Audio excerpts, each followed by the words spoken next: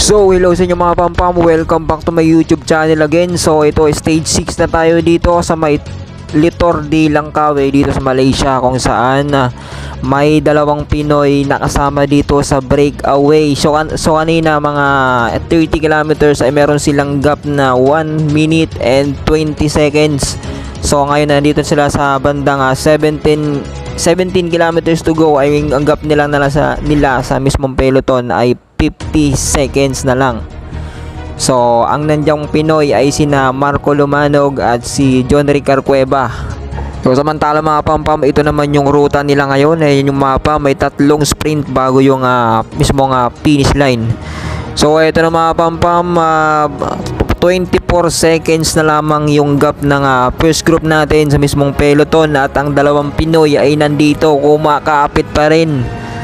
So ganyan ka porsigido yung dalawang Pinoy na nandyan na sina Marco Lumanog at si John Ricar Cueva dahil malayo-layo ang standing nila sa GC o sa general classification. Kaya kailangan talaga nilang magtrabaho dito dahil dalawang ano na lang at tatlong ano na lang tatlong uh, stage na lang at kailangan nilang humabol.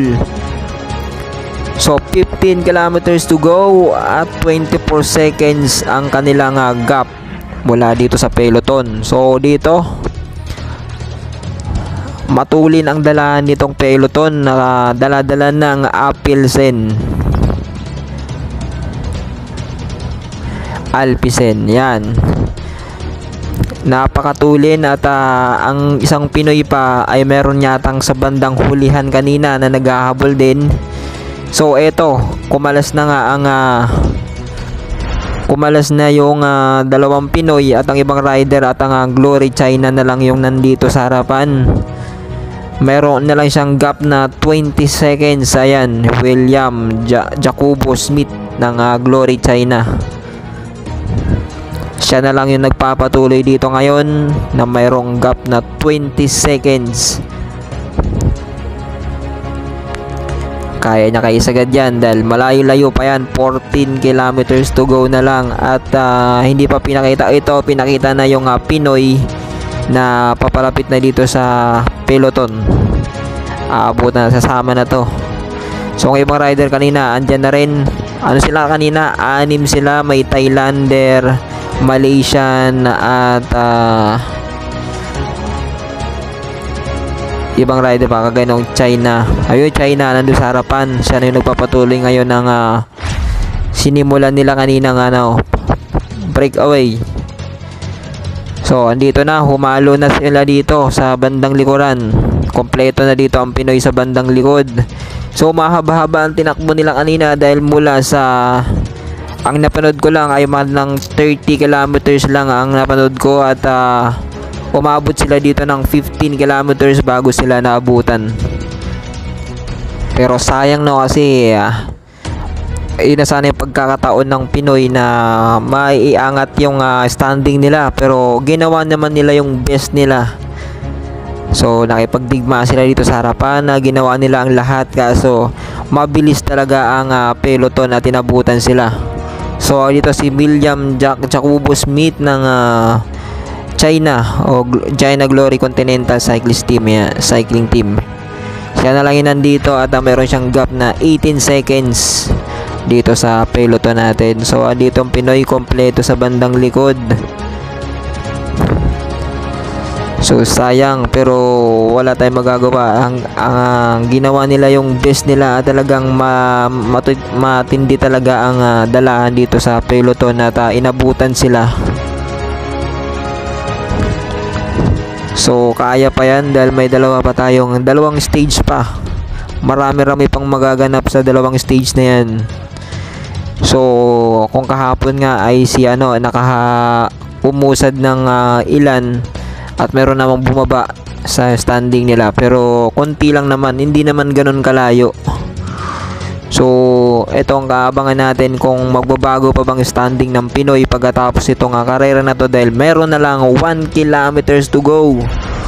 At uh, sinamaan pa ng sama ng panahon kalsa uh, ano basa yung kalsada nila dito.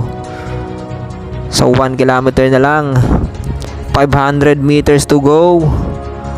Eto na dito na magkakaalaman sinong si, sinong team ang kukuha dito. Eto na. Uno ang kukuha. Uno ng ayun nakadilaw.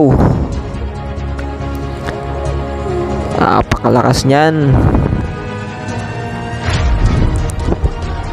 Lupit. So wala. Pero konting oras lang naman yan. Halos sa magkakasabay lang sila na pumasok. Segundo lang yan, segundo. Halos buong team din yung pumasok. Buong peloton. Halos sa segundo lang ang pagitan ng bawat ah, isa sa pagpasok. So ito yung ano natin, Sir Linda Blikra ng uno. So ito naman ang replay.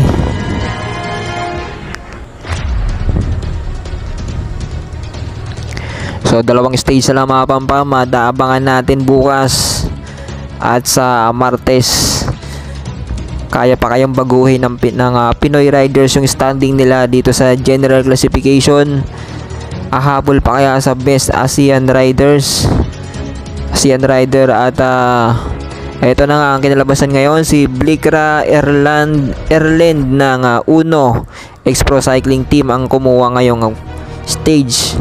Ito naman ang sa general classification naman si Sosa pa rin ang nangunguna So ayan ang pagkasunod-sunod uh, talagang bigatin talaga yung pinanggalingan ng bawat team na nandun sa top 10 natin. Samantalang ito naman yung sa Pilipino.